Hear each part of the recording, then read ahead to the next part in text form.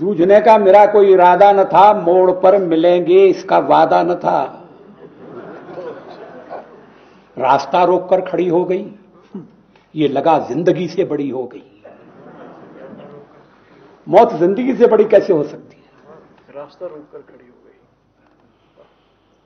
जूझने का मेरा कोई इरादा न था, मोड़ पर मिलेंगे, इसका वादा न था, रास्ता रोककर वह खड़ी हो गई, यूँ लगा ज़िंदगी से बड़ी हो गई, मौत की उम्र क्या दो पल भी नहीं, ज़िंदगी सिलसिला आज कल की नहीं, मैं जी भर जिया, मैं मन से मरूं। देखिए कवि का मन, मैं जी भर जिया, मैं मन से मरूं लौट कर आऊँगा कूच से क्यों डरूं? तू दबे पाओ चोरी छिपे से ना।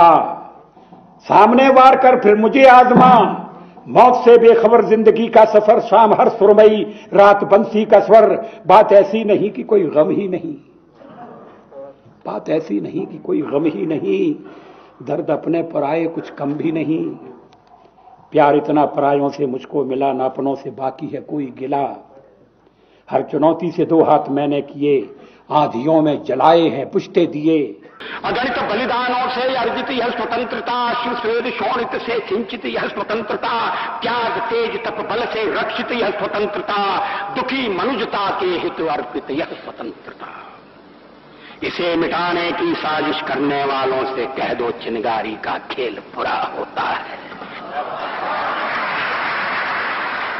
इसे मिटाने की साजिश करने वालों से कह दो चिनकारी का खेल बुरा होता है। औरों के घर आग लगाने का जो सपना, वह अपने ही घर में सदा खड़ा हो।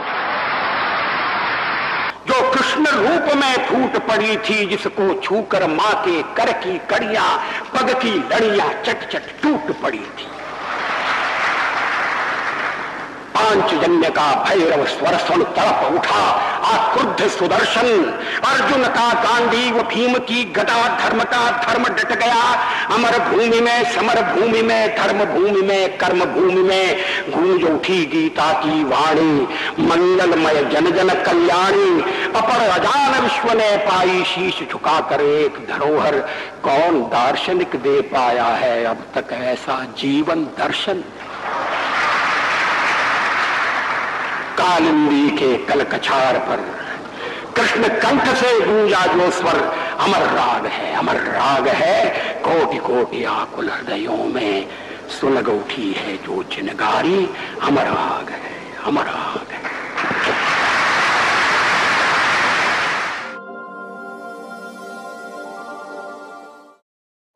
भारतरत्न माजी पंतप्रधान अटल बिहारी वाजपेयी यांचं नुकतंच निधन झालं. त्यांच्या निधनाची वार्ता देशभरामध्ये पसरली. देशावर शोककळा पसरली. आणि अनेक पैलू त्यांचे पुन्हा जागृत झाले. अटल बिहारी वाजपेयी म्हणजे ऋषितुल्य व्यक्तिमत्व. भाजपमधला सर्वात ज्येष्ठ व्यक्तित्व भाजपमधली अतिशय बुद्धिमान व्यक्ती म्हणून त्यांचं नाव लौकिक आहे. तीन वेळा देशाचे पंतप्रधान झालेले अटल बिहारी वाजपेयी.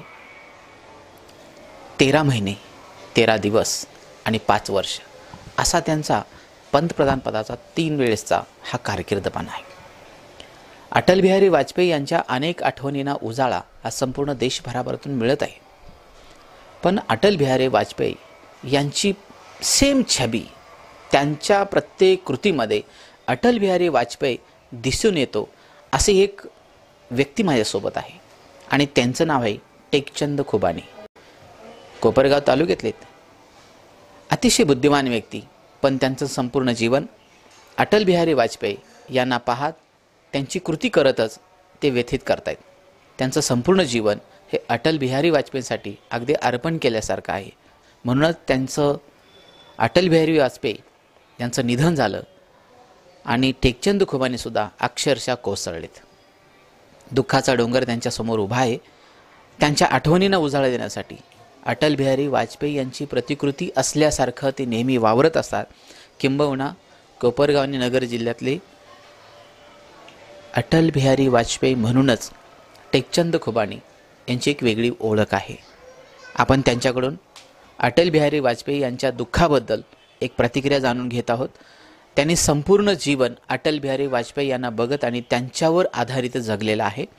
टेकचंद खुबानी हे माझ्यासोबत आहेत. नमस्कार. आज अटल बिहारी वाजपेयी आपल्यामध्ये नाहीत. अतिशय आदरणीय व्यक्तिमत्व आ देशातलं हे गेलेलं आहे.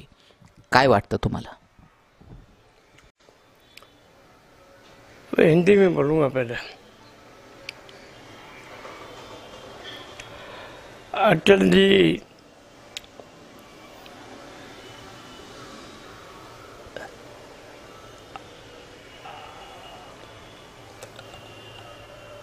आज हमारे साथ नहीं है, ऐसा मुझे नहीं लगता।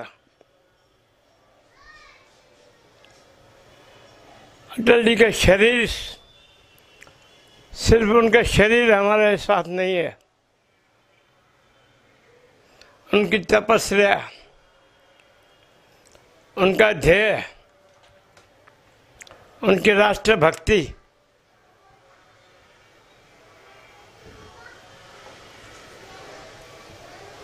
उनका सामाजिक संबंध,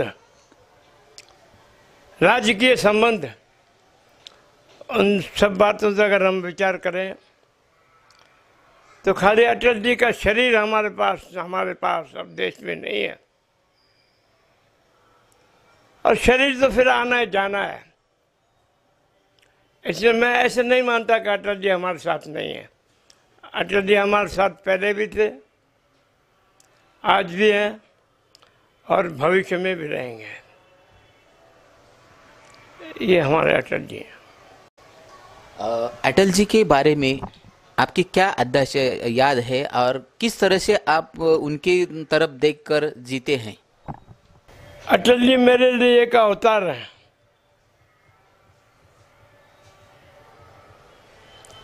उन्नीस सौ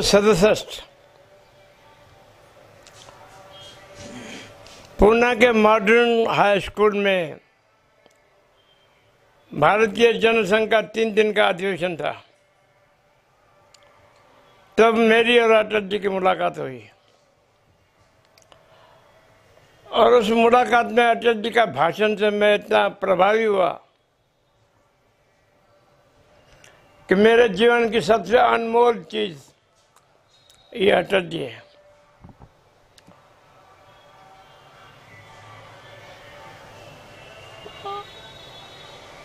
उसके बाद उन्नीस सौ के बाद जो अटल जी का मेरे ऊपर प्रभाव पड़ा तो मैंने फिर पीछे मुड़कर कभी नहीं देखा।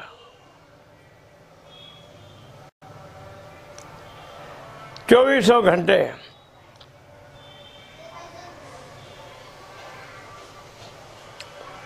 मेरे ब्रेन में सिर्फ़ अटल जी और अटल जी। अटल जी, एक नशा है। अटल जी, एक नशा है। इस नशे की जिसको आदत लग गई,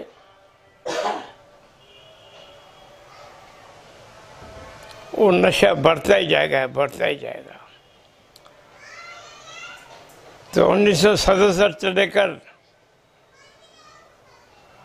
2018 इन 50 वर्षों के कार्यकाल में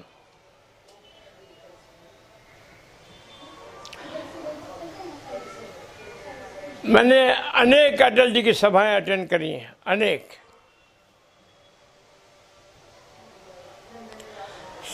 जहाँ कहीं भी अटल जी आते थे भाषण करने के लिए, सभा के लिए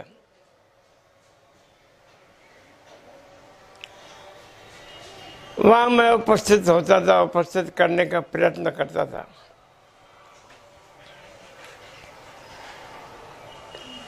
कई बार उनकी मेरी मुलाकात, वैयक्तिक मुलाकात हुई है, कई बार।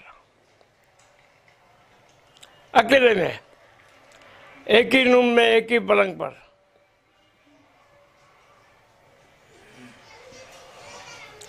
उनको मैंने बहुत बारीकी से, बहुत नजदीकी से देखा है।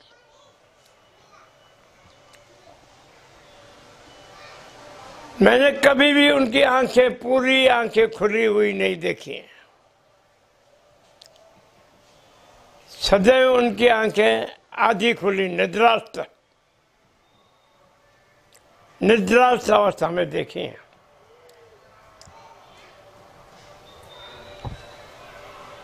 और मानो वो निद्रास्त अवस्था में जो कुछ बोल रहे हैं, वो अपने आप समझने की बात है।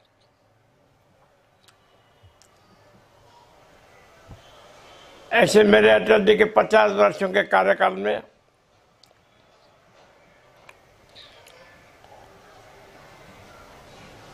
पर्सनल मुलाकातें।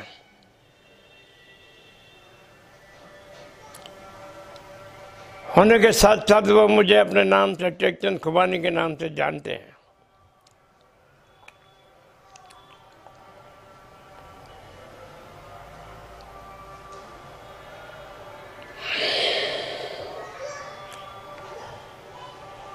उन्नीस सौ इकहत्तर।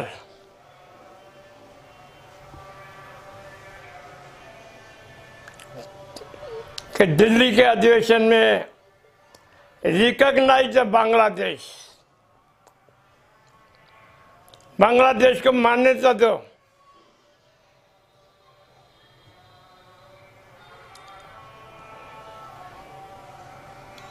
बांग्लादेश को मान्यता दो उसी के लिए देश भर से दो लाख कार्यकर्ता दिल्ली के पिकेटिंग में आए थे दो लाख कार्यकर्ता जब तक हम लोग जेल में भर्ती होते जेल में कोई जगह होती तब तक फ़िलहाल एक स्टेडियम ने हमें रखा कोपरगांव से हम बारह कार्य करते थे बारह। मतलब आप अटल जी के साथ थे? हाँ। साथ थे अभी जी हूँ। तब वो वो स्टेडियम में अटल जी आए। कहने लगा अभी जेलों में तो जगह नहीं रही। दो लाख कार्यकर्ताओं को जेलों में रखना मुँह की बात नहीं उन्नीस सौ इकहत्तर की बात है। फ़िलहाल, आपको इस स्टूडियो में रखा है। ये नाश्ते के पैकेज आपके लिए आए, पार्टी ने भिजवाए। जब तक जेलों में आपकी रवानगी नहीं होती, तब तक ये नाश्ता कर लीजिए।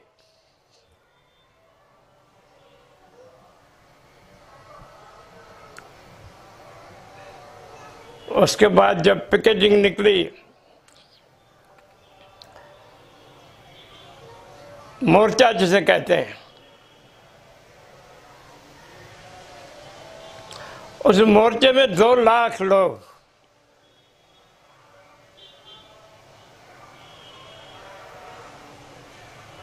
नगर डिस्ट्रिक्ट के बहुत सारे कार्यकर्ता ये भारतीय जनसंघ के टाइम की बात कर रहा हूँ, उन्नीस सौ इकहत्तर की। दो लाख लोग केसरी टोपी में, केसरी टोपी में।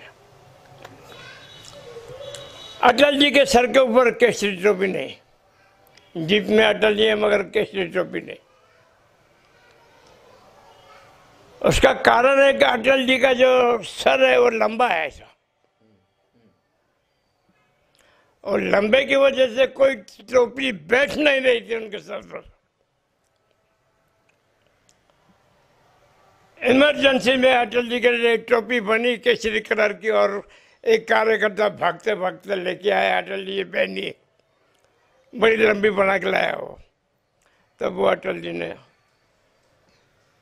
टोपी पहनी और दो लाख लोगों को आप मुझे एक बताइए। हाँ। टेकचंद खुबानी हे अटलजींचे अतिशय जवळची व्यक्ती म्हणून एक त्यांची ओळख आहे. पण अटल बिहारी वाजपेयी यांनी त्यांच्या पंतप्रधानाच्या काळामध्ये किंवा इतर वेळेस टेकचंद खुबानी यांना स्वतंत्र पत्रव्यवहार करायचे. त्यांनी स्वतंत्र त्यांना वेगवेगळ्या पद्धतीचे मेसेज पत्र पाठवून त्यांचं अभिनंदन वाढदिवसाचं असेल किंवा त्यांच्या घरातल्या काही इतर शुभकार्य असतील त्या सर्व कार्याला स्वतः अटल बिहारी वाजपेयी यांनी शुभ संदेश देण्याचं काम त्यांनी त्यांच्या लेखी स्वरूपामध्ये त्यांच्या स्वाक्षरीनिशी टेकचंद खुबानी यांना दिल्लीवरून पाठवलेले आहेत. अशा काही त्यांच्या आठवणी आहेत. आपण टेकचंद खुबानी यांच्याकडून जाणून घेऊयात.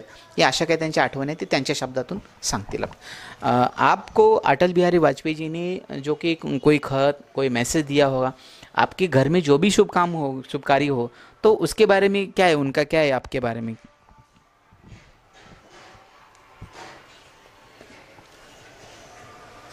ये देख लीजिए आप।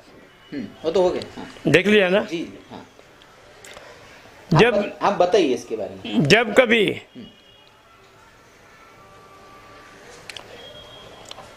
कोई शुभ कार्य होता है मेरे पास मेरे घर में मेरे फैमिली में सबसे पहले इनविटेशन कार्ड अटल जी को भेजता हूँ मैं। ये उसका प्रूफ है। प्रूफ दाखवते हाँ सबसे पहले, मेरा जो इन्विटेशन कार्ड है, वो अटल जी के पास जाता है, उसके बाद बाकी है।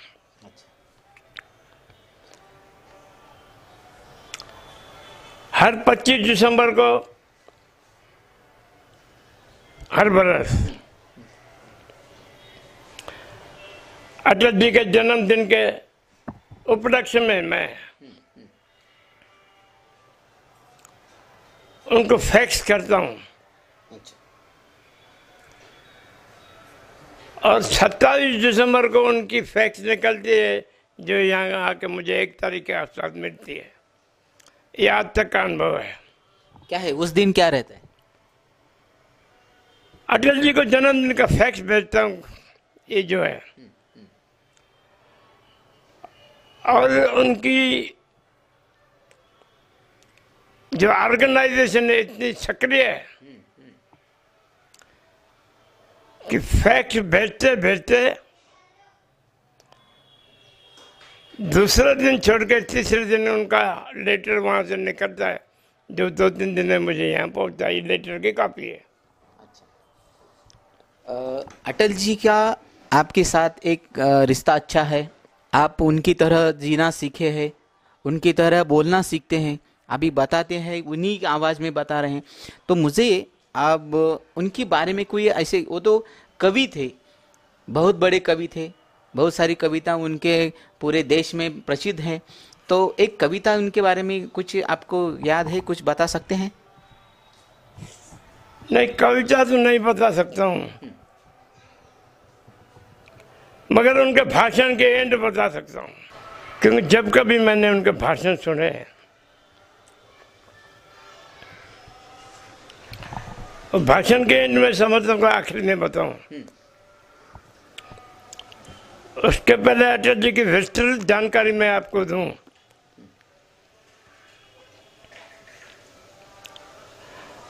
उन्नीस सौ इकहत्तर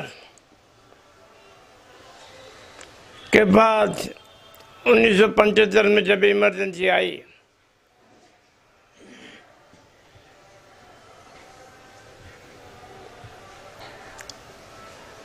इमरजेंसी के बाद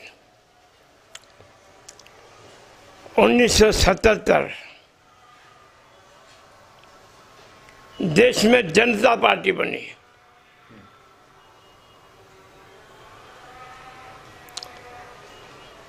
और जनता पार्टी बनने के साथ साथ बम्बई के शिवाजी पार्क में लाखों कार्यकर्ता जो हम लोग जुने जनसंघ के थे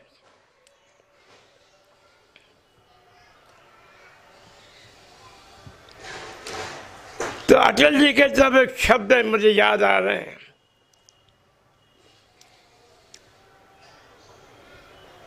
कहने लगे, हमने भारतीय जनसंघ को जनता पार्टी में ठोक दिया है।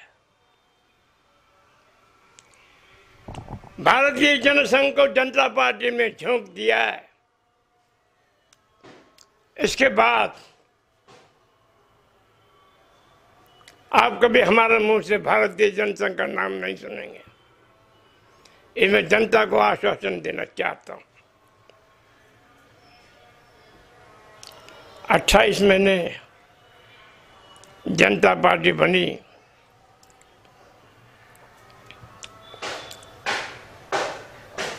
सरकारें आएँगी, जाएँगी। पार्टियाँ बनेंगी, बिगड़ेंगी। मगर देश आबादित रहना चाहिए। जनता पार्टी के विसर्जन के बाद 1980 में बंबई के बांद्रा में तीन दिन का भारतीय जनता पार्टी का अधिवेशन बना। निर्मित हुई भारतीय जनता पार्टी की और उस दिन के अधिवेशन में मैंने और अटल जी को नज़दीक से देखा। उस अधिवेशन में बैरिस्टर ठगला वगैरह वगैरह बहुत सारे बड़े बड़े नेता भी थे। संपूर्ण देश के कार्यकर्ता भी थे। तब मैंने बहुत और नजदीकी से देखा अटल जी को। और उसी अधिवेशन में अटल जी को भारतीय जनता पार्टी के अध्यक्ष चुना गया।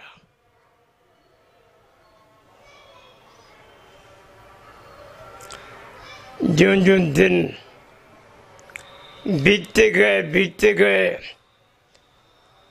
मेरा नशा बढ़ते गया बढ़ते गया।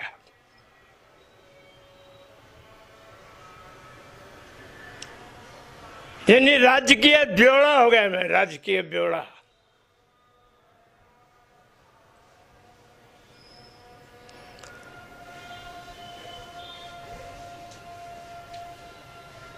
ये ब्योड़ा बनते बनते मैं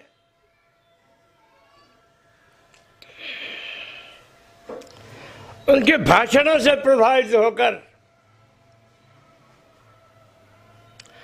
हर छोटी बड़ी सभा में मैं अपना भाषण रखता था, मुझे बुलाते थे।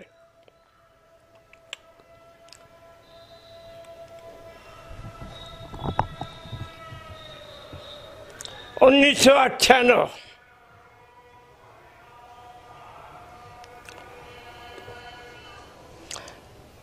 कोपरगांव मतदार संघ से भीमराव जी बर्दे खड़े थे।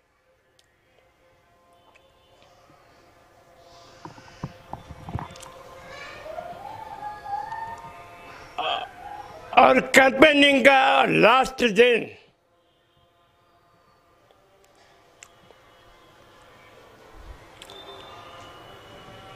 संगमनेर की सभा में अटल जी आने वाले थे और विनोद खन्ना आने वाले थे।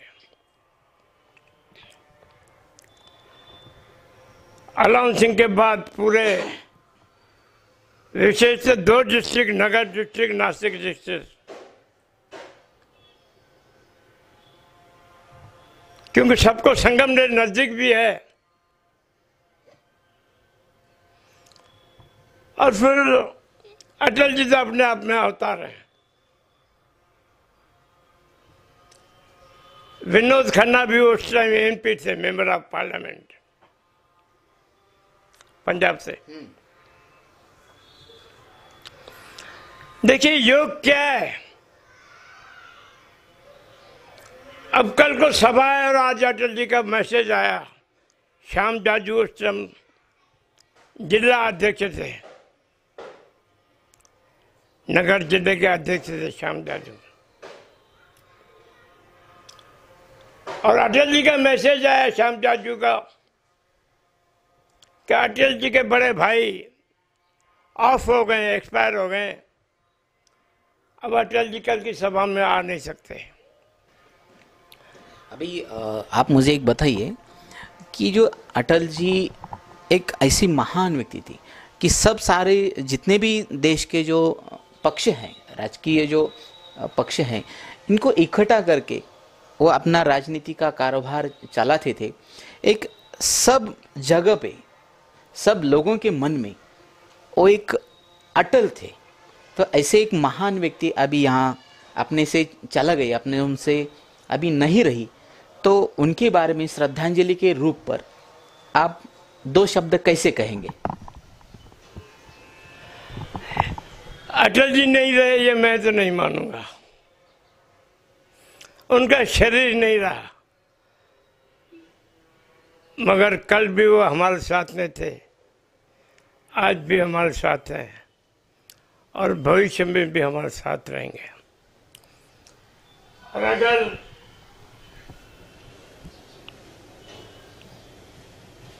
उनको श्रद्धांजलि देनी है।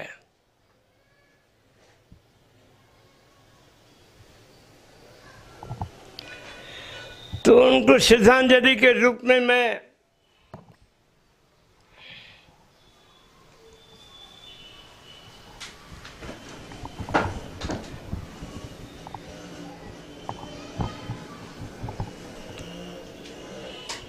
अटल जी के भाषण के एंड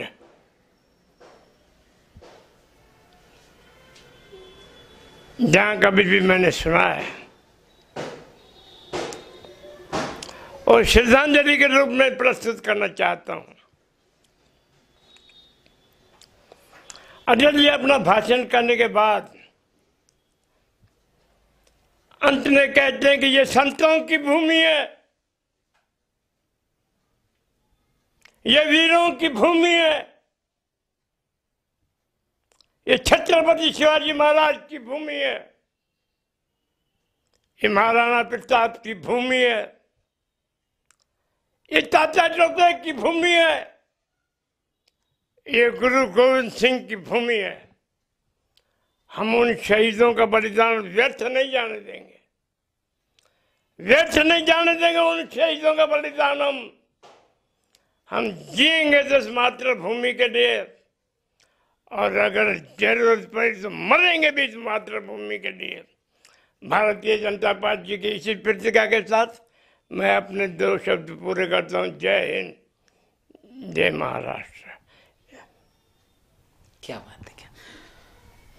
अटल बिहारी अटल बिहारी वाजपेयी यांच्या छबीतून आपली प्रतिक्रिया त्यांनी व्यक्त केली. किंबहुना त्यांचे जे भाषणं आहेत ते भाषणं तंतोतंत त्यांच्या सुरामध्ये व्यक्त करणारी ही कोपरगावची एक व्यक्ती म्हणजे हे आपले टेकचंद खुबानी आहेत.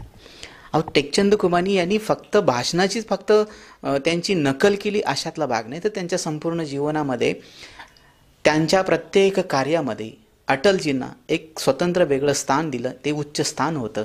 आणि म्हणून त्यांच्या घरामध्ये आल्यानंतर सुद्धा तुम्ही त्यांच्या जर शोकेशमधल्या जर ठेवणी पाहिल्यात तर तुम्ही बघू शकता या ठिकाणी त्यांचा अटलजींचा हा एक फोटो आहे. अतिशय लहान वयातला हा फोटो आहे.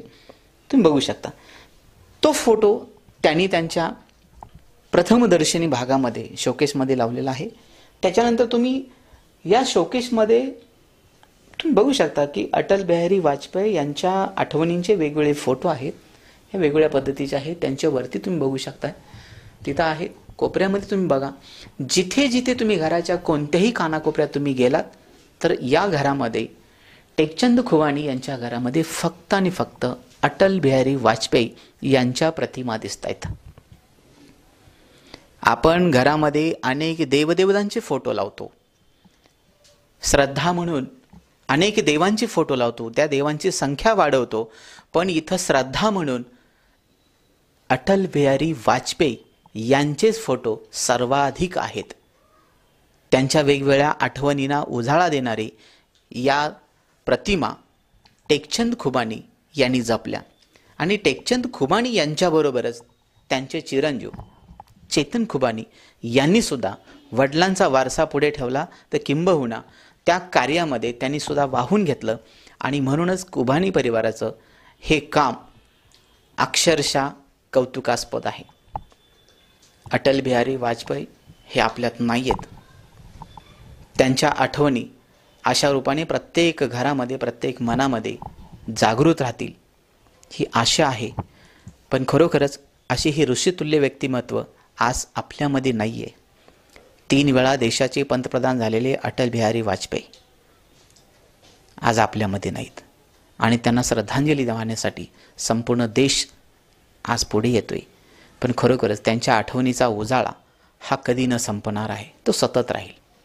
संपूर्ण आयुष्यभर अटल बिहारी वाजपेयी यांच्याप्रमाणे जगणारे टेकचंद खुबाणी यांचे सुपुत्र आज माझ्यासोबत आहेत चेतन खुबाणी त्यांनी सुद्धा आपल्या वडिलांचा वारसा पुढे नेहत नेत असतानाच अटल बिहारी वाजपेयी यांच्या विचाराची धार ती कायम ठेवलेली आहे.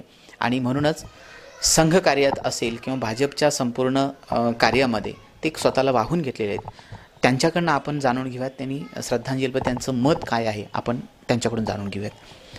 काय आहे नेमकं आता हे जे असं दुःखद वातावरण झालं तुमच्या मनामध्ये काय? अटलजी अटलजी हे एक व्यक्ती नसून ते एक विचार आहेत. आणि व्यक्ती जरी संपली तरी विचार हे कधीच संपत नसतात. त्यामुळं अटलजींचे विचार हे कायमस्वरूपी जोपर्यंत ही सृष्टी आहे तोपर्यंत ते अजरामर होतील. त्यामुळं अटलजी आपल्यातून गेले असं आम्हाला आजही वाटत नाही आणि भविष्यात देखील वाटणार नाही.